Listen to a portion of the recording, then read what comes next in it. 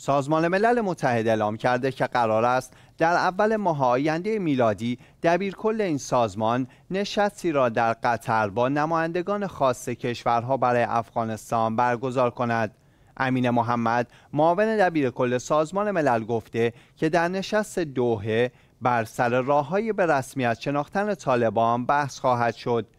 این اظهارات امین محمد با واکنش های تند در داخل و خارج افغانستان مواجه شد.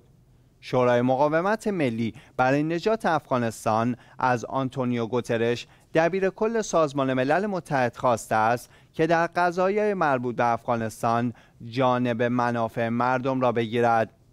حزب شهروندان افغانستان نیز در واکنش به این اظهارات امین محمد گفته که حکومت تک قومی، مرد سالاری و تک حزبی طالبان که ناقض گسترده حقوق بشر، حقوق زنان و حقوق شهروندی است در جایگاهی نیست که به عنوان دولت رسمی افغانستان فعالیت نماید.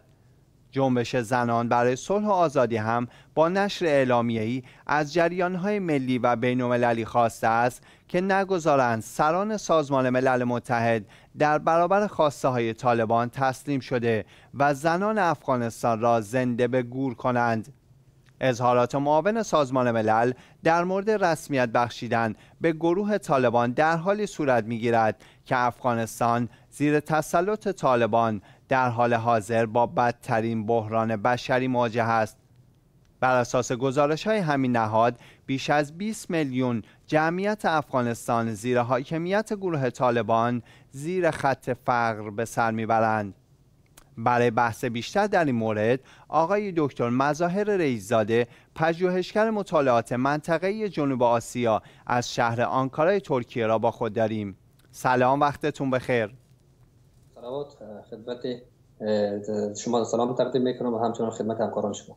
آیا سازمان ملل همزمان با افزایش بحرانهای بشری در افغانستان حکومت طالبان رو به رسمیت خواهد شناخت؟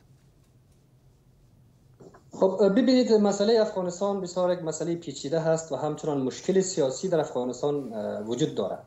و مشکل اساسی افغانستان هم مشکل سیاسی هست. خب سازمان ملل بر اساس کنوانسیون هایی که داره مشخص میشه که کشورهایی را به رسمیت می‌شناسه که مشروعیت داخلی داشته باشه قدرت عرضه خدمات به شهروندان را داشته باشه پایبندی به قوانین بین المللی و همچنان احترام به حقوق انسانی و توافق یا توانایی اداره کشور.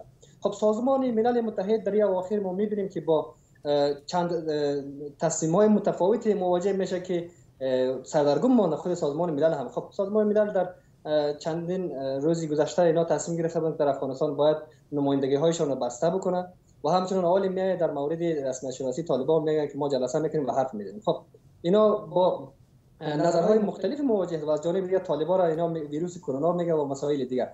خب این برای ما نشان میده که طالبان فاقد مشروعیت داخلی و همچنان فاقد مبنای حقوقی در افغانستان است و به رسمیت شناسی طالبان در افغانستان باعث میشه که گروه افراطی پشتونی در افغانستان حاکم شود و گروه های مختلف قومی و مذهبی در افغانستان دور از قدرت بگذاره که برای مردم افغانستان غیر قابل قبول است در صورت به رسمیت شناختن گروه طالبان پیامدهای آن در سطح داخلی و خارجی چگونه خواهد بود؟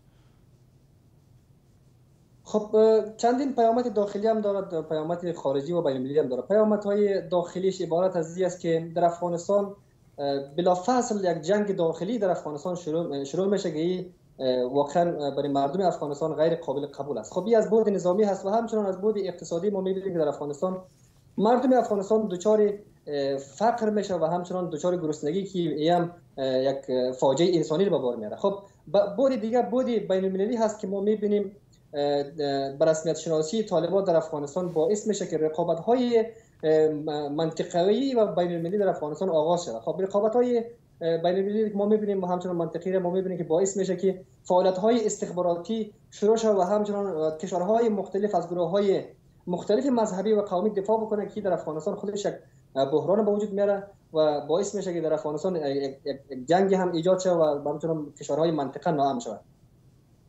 ممنونم از شما. دکتر مظاهر رئیسزاده از شهر آنکارای ترکیه با ما بودند.